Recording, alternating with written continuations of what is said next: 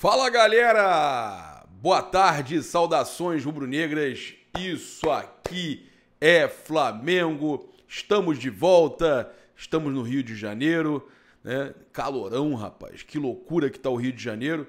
Chegamos aqui para trazer as principais notícias do Flamengo nessa terça-feira de carnaval, né? Carnaval vai chegando a sua reta final, mas ah, o Carioca, o Carioca, ele emenda até, o, até a outra segunda, aí sim começa o ano de verdade pro Carioca e também o nosso ano no futebol, né? Quinta-feira agora já tem Flamengo e Bangu, né, em Aracaju, às 21h30. A gente vai estar preparado aí também com a equipe lá, mas a gente já tem Mengão na quinta-feira aí. O Alan, a gente falou para vocês, deve ser o titular no lugar do Eric Pulgar é, várias situações aí acontecendo e eu acho importante a gente estar tá falando aqui também sobre o que estão aí também no comentário fixado, é, visto para os Estados Unidos, né? Visto fácil agora com o meu advogado Bruno, né? Ele tá aí fazendo visto para você com a maior facilidade. Além disso, também a Sonora, que fez, ó, vedação aqui, cara. Tudo vedado aqui no meu estúdio em casa com a Sonora acústica, né?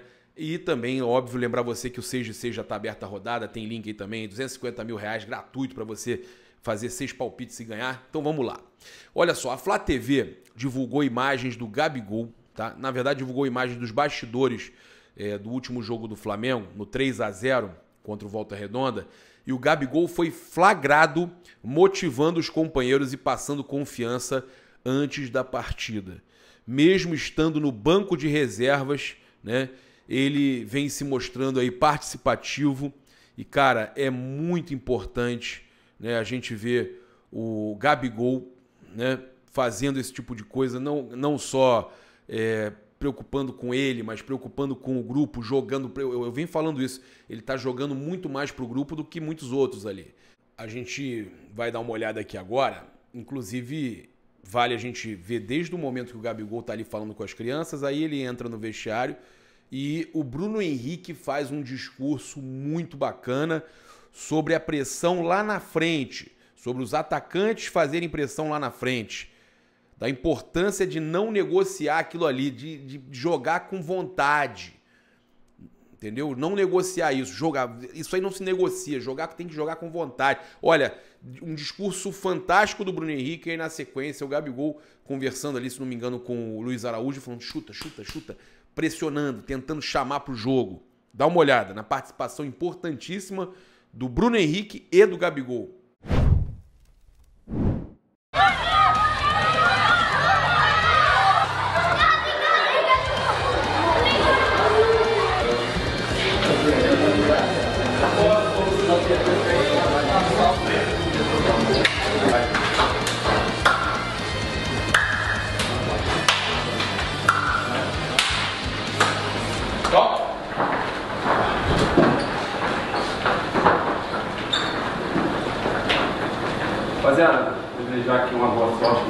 Nós. É, quem entra, os 11 que vai entrar, todo mundo que está no banco também, é muito importante. A gente sabe que o objetivo é um só. É, a gente buscar o nosso três pontos hoje. Então, uma coisa aqui que não tem como negociar é a vontade, é todo mundo correndo, todo mundo se ajudando. E o mais importante, perdeu pressiona. É mais fácil a gente perder a bola lá na frente, dar uma caneta, dar um drible, tentar fazer qualquer coisa e pressionar lá e perder, do que correr para trás depois. Então eu acho que está todo mundo focado no jogo, todo mundo está preparado para fazer um grande jogo nessa tarde aqui. Então mais uma vez, vamos todo mundo junto, que Deus abençoe. Pai nosso que está no céu, santificado seja o vosso nome. Venha a nós o vosso reino, seja feita a vossa vontade. Agora, em nome de nossa morte. Amém.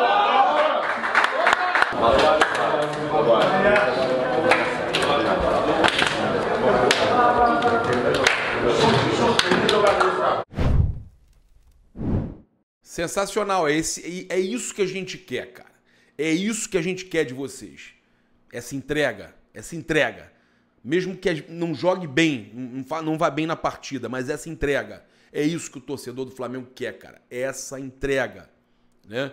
Olha só, a CNN Esportes trouxe uma matéria aqui. Flamengo vale mais que Corinthians e São Paulo juntos. Revela estudo. Rubro-Negro tem marca equivalente a 1,9 bilhão. Palmeiras e Corinthians vêm na sequência do top 3, tá? Flamengo é a marca mais valiosa do futebol brasileiro. É o que diz a pesquisa realizada pela Sports Value, né? É, que realizou um brand valuation das 30 marcas mais valiosas do futebol do país. Segundo o estudo, é, segundo o estudo, a marca Flamengo equivale, então, como eu falei, a 1,9 bilhão. Palmeiras vem na sequência a 1,2. Corinthians 1,1. Né?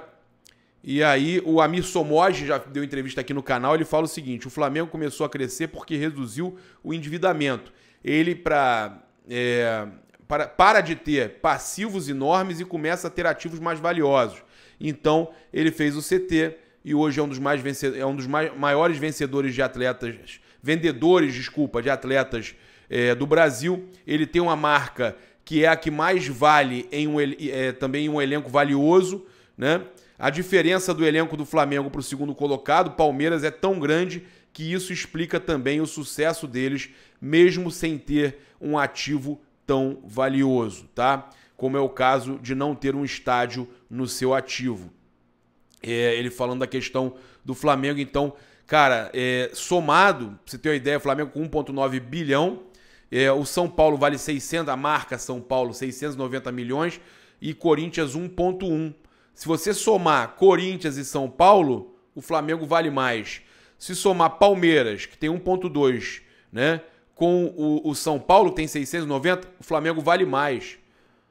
Se você somar é, São Paulo e Atlético Mineiro, ó, São Paulo, Atlético Mineiro e Internacional, os três juntos, o Flamengo vale mais. O Internacional vale 422.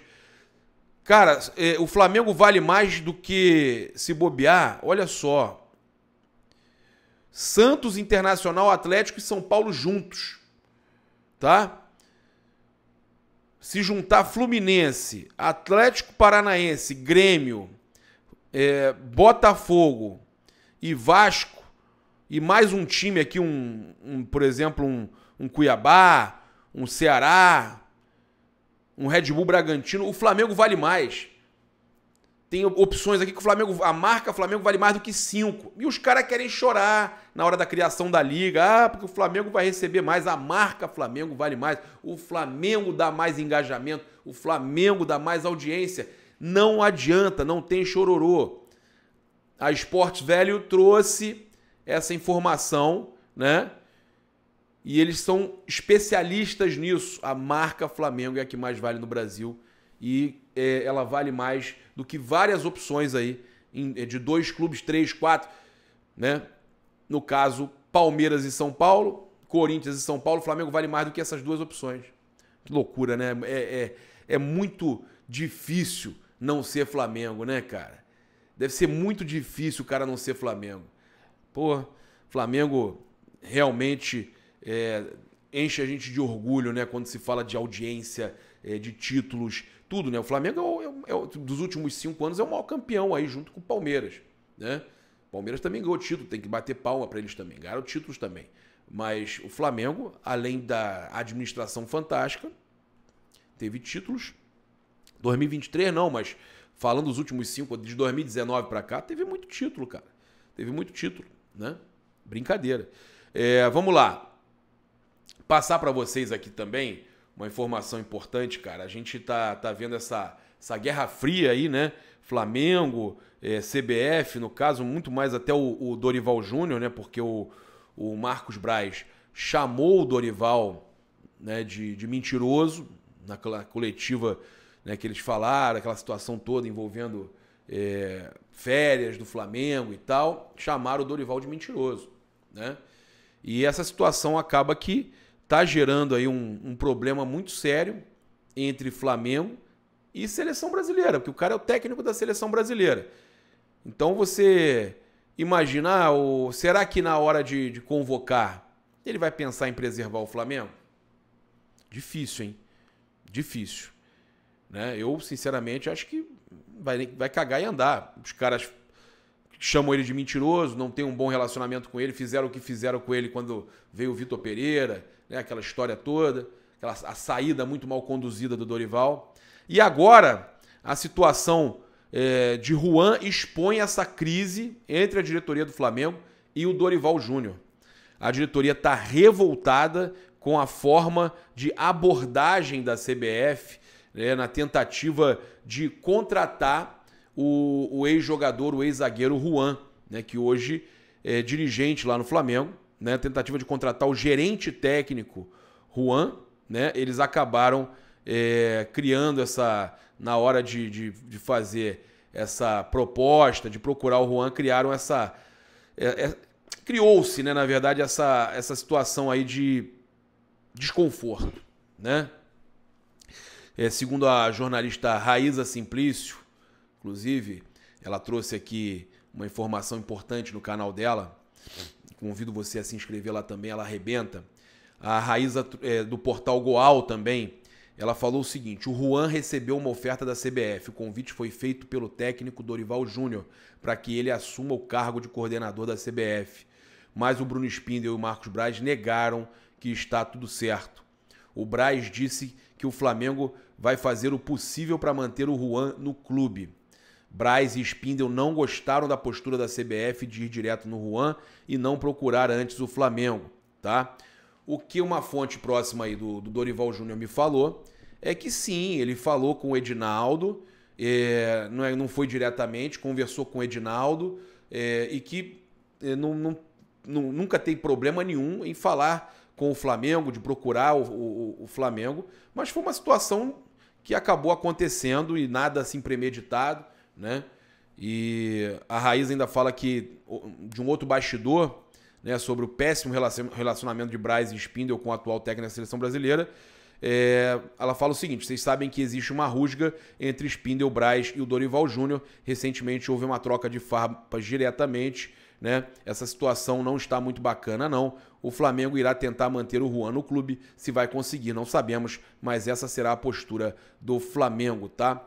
Então, a Raíza Simplício mostrando aí que tem uma situação aí chata acontecendo entre Flamengo e CBF, muito até por causa dessa essa rusga que tem aí com o Dorival desde quando ele saiu, quando o Braz também, também falou que ele mentiu, essa situação toda aí não tá muito confortável a situação. Bem, vamos lá, passar para vocês aqui que é oficial, tá? A Associação Argentina de Futebol, a AFA, anunciou em seu perfil no Twitter que a cidade de Buenos Aires será a sede da final da Libertadores de 2024. Embora a associação não tenha confirmado o estádio da partida, rumores recentes indicam que o Monumental de Núñez, casa do River Plate, será o palco da decisão. Tá? Até o momento não foi confirmado, mas já pensou uma revanche aí, Flamengo e River em Buenos Aires, no Monumental de Núñez? Ela tá aqui. Olha aqui. Ela tá aqui. Final de 2019. Eu passei por Lima ontem, né? essa madrugada. Eu estive em Lima essa madrugada e essa foi a bola do jogo. Já pensou uma revanche Flamengo e River no Monumental de Núñez, Buenos Aires? Predestinado, né, João Guilherme? Já pensou, meu amigo? Pois é, é isso. Com essa eu finalizo, convido você a seguir, curtir, compartilhar em todas as plataformas. Você que está no YouTube, eu convido a se inscrever aqui embaixo, acionar a notificação no sininho, deixar aquele like maroto no vídeo. Tem o link da Elizabeth, dos nossos outros patrocinadores aí. Lembrando que você tem 5% de desconto utilizando o cupom PAPA somente nas lojas online para adquirir o seu manto ou produto oficial, né? Com 5% de desconto, cupom PAPA, loja.flamengo.com.br, espaço rubro-negro com.br e olha, nosso site paparazorubronegro.com.br, sempre com as notícias em cima do laço. Tamo junto, aquele abraço, saudações rubro-negras. Isso aqui é Flamengo. Valeu!